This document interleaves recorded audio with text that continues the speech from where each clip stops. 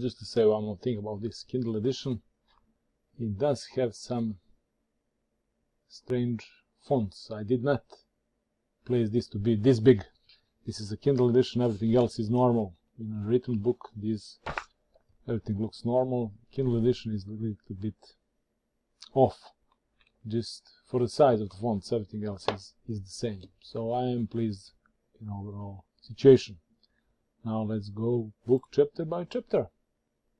And what did writer meant about it? Okay, photon mass gravity, it starts. Do you have, do you have, do you have photon mass gravity? This was, it starts as an introduction. It says from the first steps, black body radiation, photoelectric effect until today. We did hold that Planck constant is constant and that this is this number. And we more than a century operated under that assumption. But I'm inviting you to be that as may, I invite you to reconsider something else because this is important. Why is this important? There is numerous of reasons and one of the major problems with the particle physics today is too big Planck constant because when you're dealing with quarks you are dealing with relativistic objects. And within relativistic objects Planck constant is significantly smaller.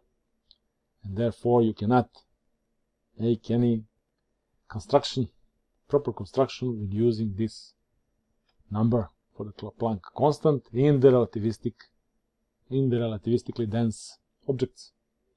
It is not my idea that the quarks are relativistic objects. It is idea of Feynman and Bethe and others. Quarks are relativistic objects. They think they are moving relativistically fast.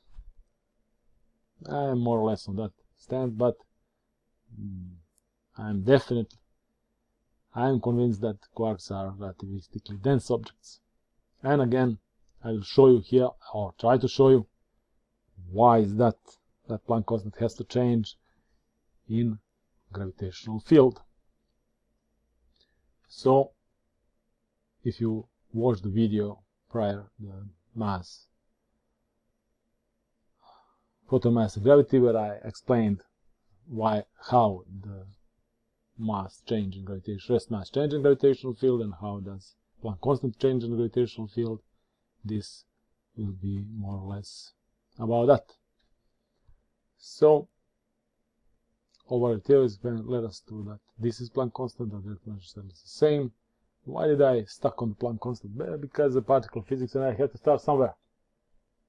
But we will see. So this is the first page of the book.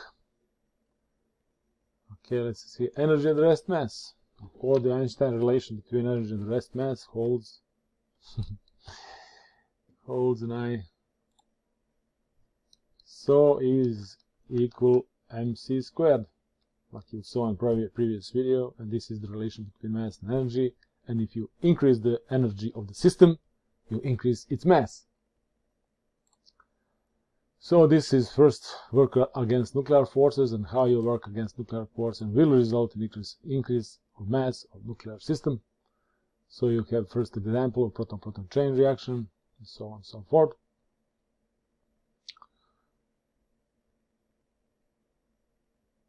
The protons more or less create helium nucleus and lose part, part of its mass and that is a bond energy. That is all that is very well-known thing. It's nothing new here. And when the system loses mass, it, it uh,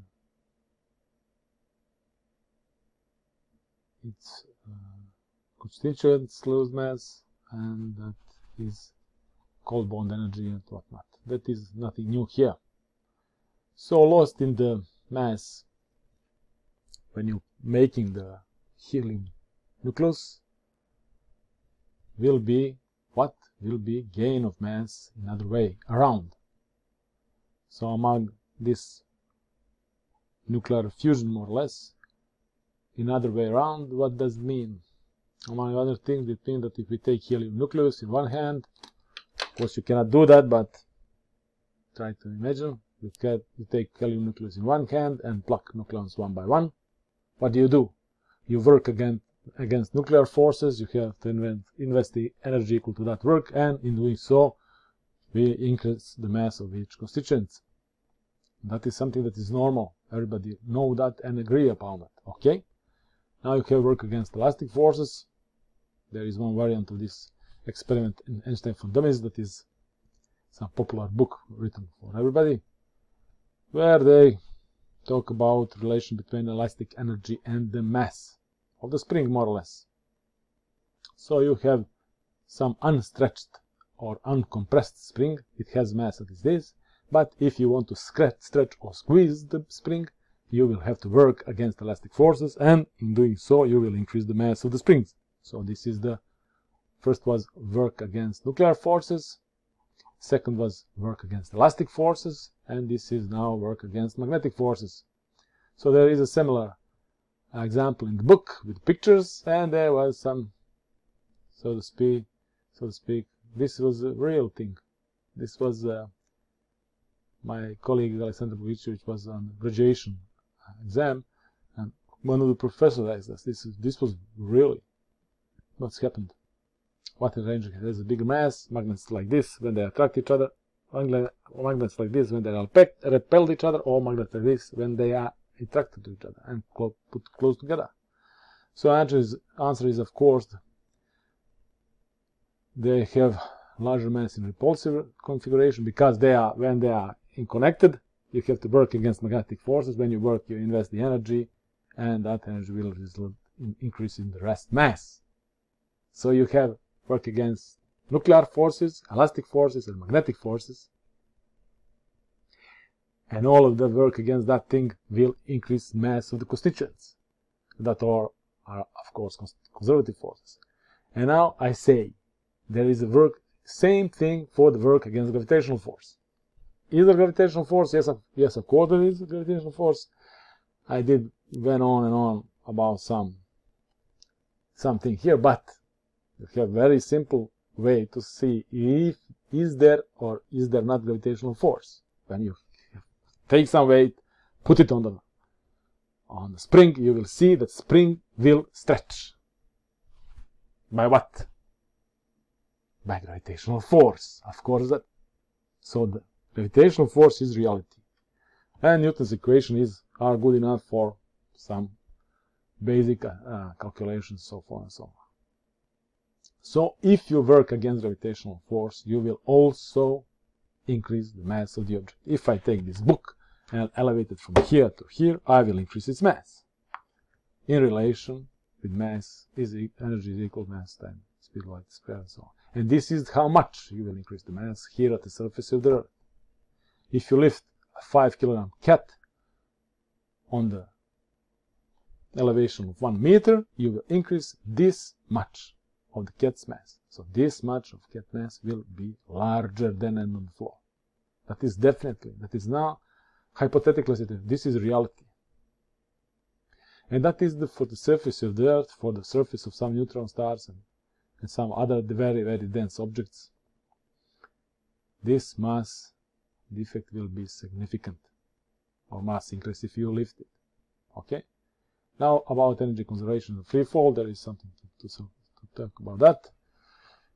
There is story about the shoes, but there is a better story about bouncing balls in the first video, our second video that I placed here, so I will not talk about energy conservation in free fall. I will just say that energy is conserved in the free fall. Let me say it again. If you have two same bouncing balls here, they are at the same level, they have same mass and same energy. But if you if I take one and elevate it here, now this ball here has a greater energy than this one there. Why? Well, because I work to do that. And what is the difference? That here has a greater mass than that one there. That is definitely, that is what I'm trying to tell. And how do I know that the energy of that one is larger than that one? Well, because I, if I let it go, it will bounce all the time up and down. Obviously, it has a greater energy than this one. And furthermore, surplus of energy is not lost in the gravitational field is constant. That surplus of energy is constant.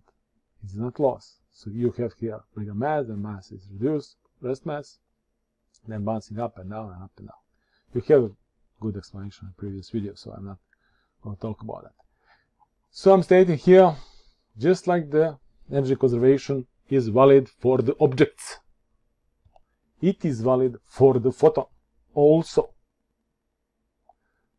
And because it's valid for the objects and for the photon, it's obvious we measure that, that frequency of photon increase when you fall down. That means that Planck constant has to decrease downwards. So Planck constant has one value here, smaller here, smaller here, smaller here. And I will try to show you that that actually is necessary in order to have quark like we do have and so on and so forth. So that is, this introduction is most important thing in the book. And this, in short, my personal most important claim, this all here should be standard in physics today. There is nothing new here. There shouldn't be anything, nothing. There shouldn't be anything new here. This is derived from the Einstein equation for the rest mass and energy and the relation between energy and mass. And this is here just the consequence of that thing. And the consequence of this energy conservation and free falling gravitational field. If you ask any physicist who is decent, they, they will tell you energy is of course of the photon does not increase as the photon fall down. Energy of the photon does not decrease as, as it goes up on the surface of the earth. Energy of the photon is constant. So in the back of our mind, we know this is true. But it is not pleasant thing to consider because why? Because all the quantum physics dealing with this Planck constant. And great part of the atomic physics, nuclear environment. It is not a pleasant thing to do, but we have to do it. Science does not care about our emotions. So this is the most important thing, and this is what I'm stating. I am 99.99% sure about it. In science, you will never have to be 100% sure about anything. So this is the direction I think we need to move on. And from here downwards is future physics question mark. I think future physics will develop in this direction that, that, that I will try to show you, but that is not very important for the time being. This is the most important thing. And from this, you derive future physics as you wish, but you will have to use this and you will have to use. Because there is no advance in particle physics, in quark theory, quark shapes and size and whatnot, if you do not this, take this into account.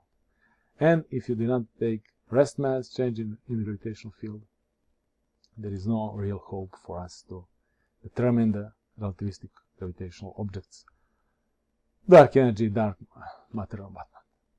This is the key for that, and this is the key for the quarks.